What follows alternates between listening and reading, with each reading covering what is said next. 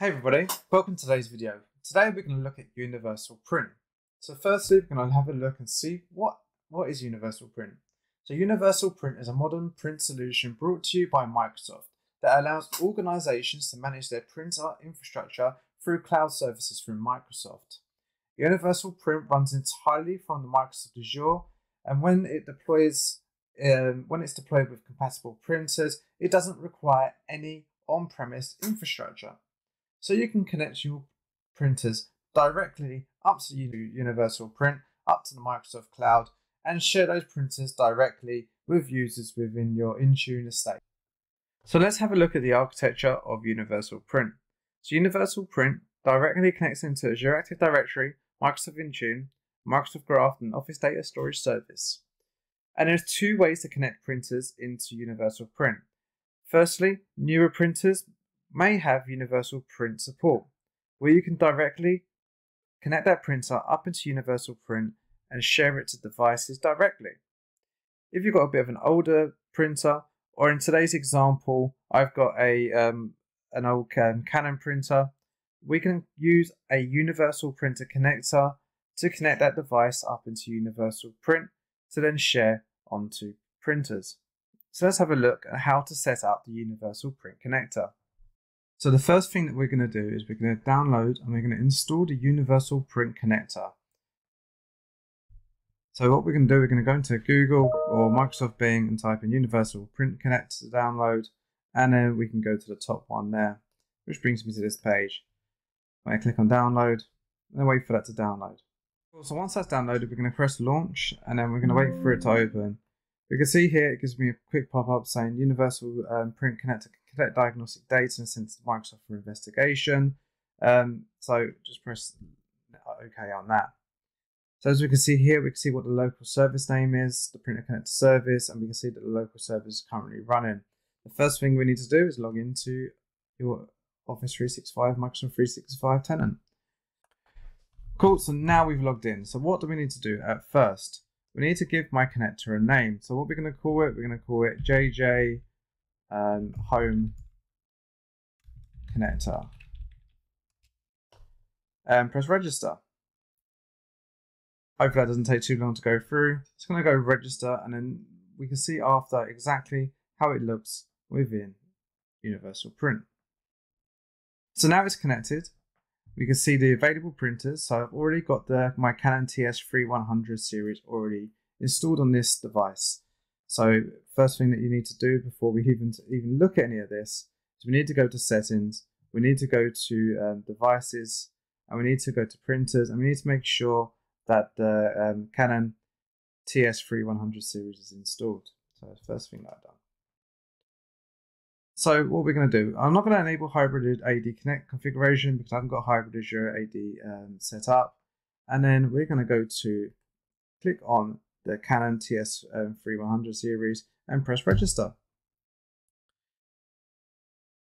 That shouldn't take too long to go through and register. And then as soon as that is done, it will pop up on the left hand side under register printers.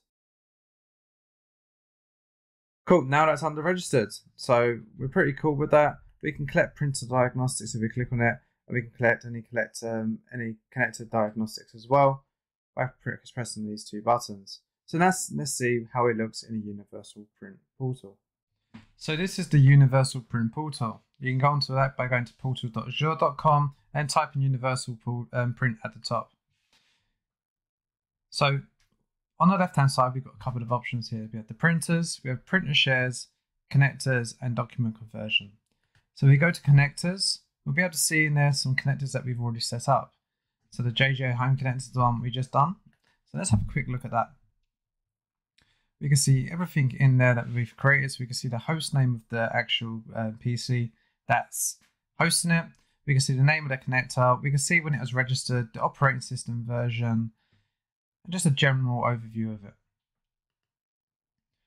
On the left hand side, we can see printers now. So if I go to printers, we can see the printer that we um, joined earlier to the connector, which was the Canon TS3100 series. As you can see, if I click on here, I get all of the information about the printer, the name of it, and just some other bits here that will be populated in a second when we go to actually create a share. But on the left hand side, we can manage the jobs. We can look at the printer properties, whereabouts they are. We can put in some floor number, description, room numbers, and whereabouts it is. And also look and see what connector it's connected to. But what we're going to do to actually make um, sure that devices can connect to it, we're going to go to share. We can give it a share name, so we're going to keep it as TN, um, Canon TS3100 series, but we can have that to any um, change that to anything. And here we can actually have some uh, set up the access to the actual printer itself. So clicking on this will allow access to everyone in the organization, or we can give it to individual users only on this share. So we're going to click on my account here, Jon Jarvis, and press share printer. So once that's done, you can see some more information such as the share ID, the printer ID, and some of this stuff is what we will need later when we set up the share in, in Intune. So now let's see how to configure it on the actual PCs themselves. And for this instance, we're going to use a Windows 365 Cloud PC.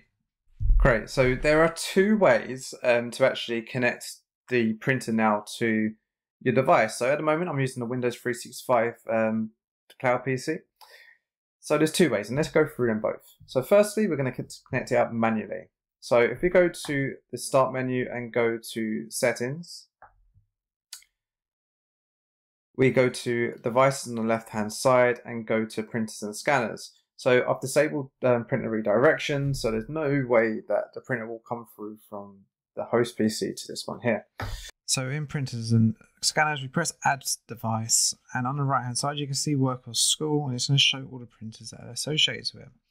We can see the Canon TS3100 series here now, and note that any users that did not have it on the share from previously will not see this here. But if we press add device, we can see it goes to connecting and goes to ready eventually. Now the actual printer is added, we can actually click into it. You can see it's a cloud PC with a cloud icon there. We can see the printer name, we can open the print queue, and we can print a test page. So let's see what happens when we print a test page. It goes into the document queue, and after about 20 or so seconds, it should then print out. As you can see here, the test page is now printed. Cool, so now we're gonna actually deploy the printer using Intune. So we're gonna go to intune.microsoft.com, we're gonna go to the devices on the left-hand side and go to configuration profiles. We're gonna go to create profile, and we're gonna go to Windows 10 or later, and go to settings catalog, and press create. So we're going to give it a name. We can give it a name called Universal Printer Deployment and press next. We're going to go to add settings and then go down to and search for, sorry, printer provisioning. We can see this one here and that is what we're going to select. So we're going to select this at the bottom and we can see on the background this has um, appeared. So we're going to exit there and we just need to get each of these settings. So the cloud um, device ID is actually the printer ID. So over here, we can see that this is the printer ID. So we're going to copy this into here. We're going to go to the print shared name. So we can also look for the printer share name. We're going to copy that And then we're going to go to and, in, and put in the shared ID of the printer as well. So the shared ID is this one here. So have those ready available, readily available and fill them in exactly as it says. Oh, I noticed I just made a mistake for the printer shared name. It didn't copy properly, which is that one there. And press next. We can set up scope tags if you want to but for this we're not going to. And we're going to assign it to a group. So the group that we're going to assign it to is my user um, that is using my Windows 365 machine, which is group Windows. And we can see I've got one user in there. And we're going to press next and create. So now that's been created, let's wait for my device to synchronize up and then see the behavior of it. Right, so we gave the Windows 365 device a restart And now let's see what's happened. Let's see if it's been set up. So if we go to the start menu again, go to settings. On the left hand side, go to Bluetooth and devices and go to printers and scanners. It's there. So the Canon TS3100 series printer is there. And it's showing exactly as it did before with the printer status as idle. And we can open the print queue. We can print a test page. And we can see the printer properties. So exactly what we wanted. So I hope everyone has enjoyed the video. If you'd like to see more videos, give us a like, give us a subscribe, and let us know in the comment section what else you would like to see within the Intune or Microsoft 365 space. Take care, everybody.